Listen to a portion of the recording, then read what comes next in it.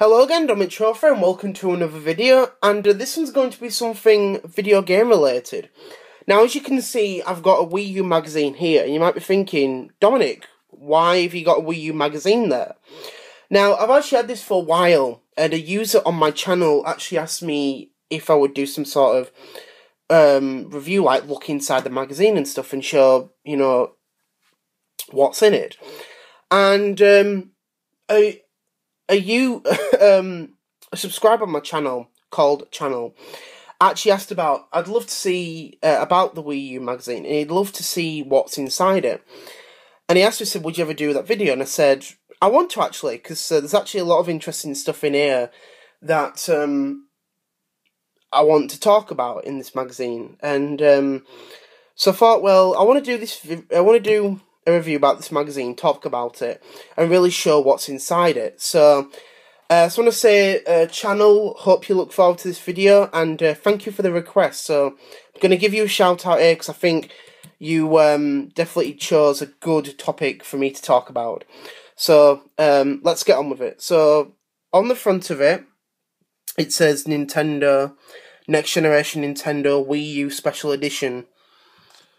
Uh, free with official Nintendo magazine and August 2011.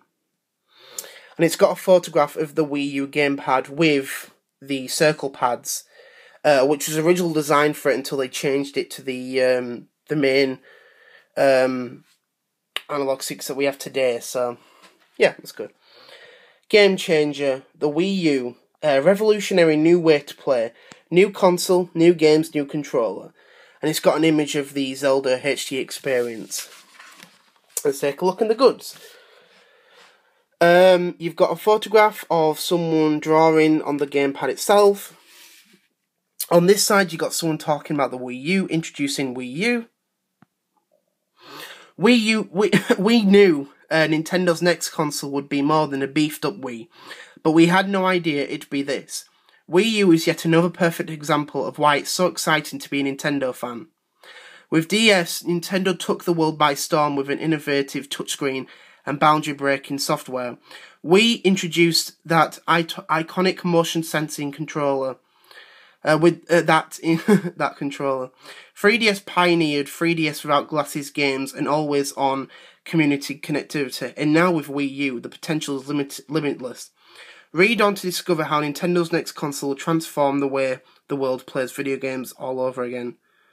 Editor in chief uh, Neil Long. And then you got the logo there of the Wii U. The controller. Nintendo's latest technology, technological marvel revealed. D-pad, speakers, shoulder buttons, and it just shows someone holding, holding the controller with the shoulder buttons. The Wii U controller offers a brand new way to play games on a home console, taking the best elements from previous Nintendo controllers, handheld, and tablet computers. Yeah, yeah, I'd, I'd say so. It'd be good though. It was good, and then it shows a picture of the controller with the you know the original analog sticks that it had, the D-pad, the A, B, X, Y buttons, camera, uh, start and select home button and the power button. So yeah, being good sports, batter up. I've got it. Having a ball and a stroke of genius. More ways to play. new hardware, new controllers, new gaming possibilities. Yeah.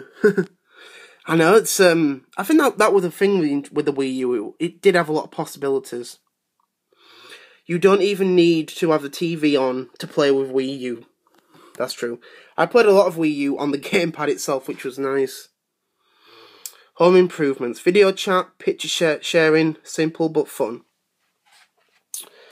And then it shows someone holding the Wii U gamepad sideways. Stylus, painting, browse. And, but that's not all, and that's not all. No TV required, privacy granted, sight for sore eyes, you're a star. Play on the gamepad. The Wii U experience an early gap, gap, I think that's pronounced that, into the future of Nintendo gaming. And it just shows a demo of the Chase Me game, which was on the Nintendo Land uh, uh, for Wii U. Just shows a few people playing it and someone playing on the gamepad. And then it shows someone playing the um, the Metroid demo, uh, the Metroid mini game from the Wii U. Um, you know, playing with Wii motes and a gamepad. Then it shows about motion and you know the motion control and stuff. New Super Mario Bros. Wii. An old friend gets a new life, lease of life on Wii U. Nintendo intends to resolve all those arguments over the TV. That is a good point. yeah, it's actually not a bad game, you know, New Super Mario Bros. U. I have to play that again. Uh, I quite like it. And then it shows it on the, the gamepad itself. HD Mario in your hands. It makes us want to weep with purest joy. yeah. the Legend of Zelda HD experience. Dazzling high definition visuals, Nintendo style. This is the stuff dreams are made of for Zelda fans. Think seeing Ocarina of Time in glorious 3D without glasses is a treat. It was a treat. Somehow it looks lovelier on the controller than it does on the TV. Switching between the TV and the Wii U controller controller screen is seamless. Switch. I think we all know where that came from. The Nintendo Switch. Forthcoming attractions. The best Wii U games in development right now. Killer Freaks from Outer Space. Now, for those that wondered about that game, you might thinking, what is this game? It actually turned out to be ZombiU. Uh, the original idea of Killer Freaks from Outer Space was it was going to be um, about shooting aliens and all that sort of stuff. But it turned out that people didn't like the idea, so Ubisoft actually changed it into zombies. So that's what actually happened.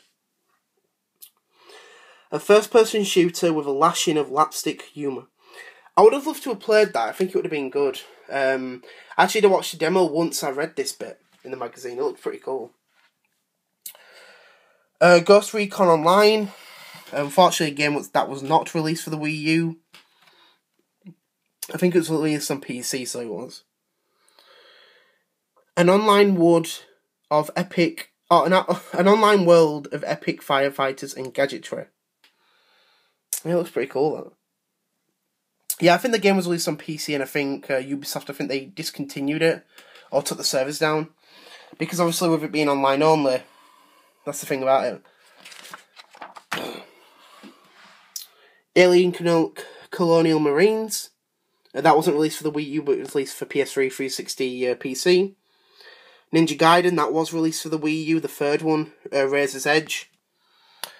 Batman Arkham City, I have played that actually. It's actually not a bad game. All the ingredients are here for another Bat classic. And Assassin's Creed, which there were three, two Assassin's Creed games on the uh, Wii U. Uh, there was Assassin's Creed 3 from launch, and then there was Assassin's Creed 4 Black Flag. Pikmin 3.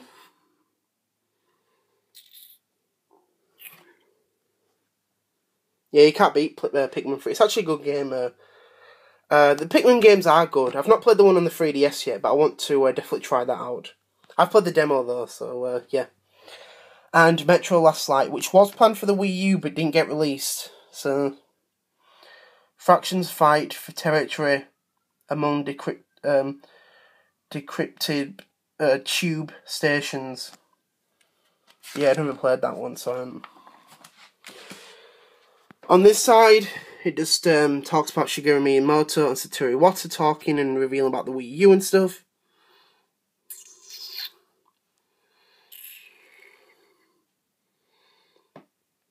This is an opportunity for games that were considered core to evolve some into something more interesting. Yeah. Hmm. And the last page is someone drawing Link uh, on the gamepad and showing on the TV. which is actually quite funny because you think about the the beginning of the magazine, it showed someone starting to draw it. So yeah, so that's uh, quite interesting though. Basically saying like from start to finish, you're gonna think that. Yeah, that's actually quite nice that. and on the back of it, it just says Wii U coming in 2012. So yeah, um, the Wii U magazine. I just want to say, hope you enjoyed this video, especially all, all of you that like the Wii U, and even if you're not interested about it, I hope you enjoyed it and just wanted to see what's inside the magazine. Um, so I just want to say thank you very much for watching. Uh, thank you very much, channel, for giving me the, this request to do this video. Um, definitely appreciate it, and I'm definitely glad to give you a shout out.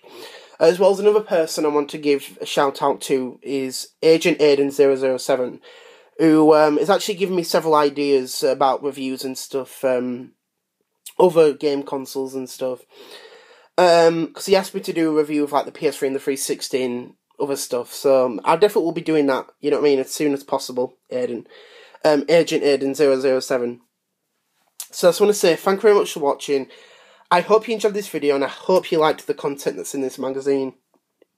Um, just to let you know, if you don't all know, uh, there'll be no video tomorrow uh, because I did state in the one I did on Saturday that with it being my uh, mum's um, birthday, my granddad's as well, granddad's as well. Uh, there'll be no video tomorrow evening because obviously I'm going out of family. So um, my, my next video will be on uh, this Friday coming, which will be an Alex Francis sketch. So I just want to say thank you very much for watching. I hope you enjoyed this video, and I'll see you all later. Bye. See you later. Bye. Wii U. A great console, and we all salute you. See you later.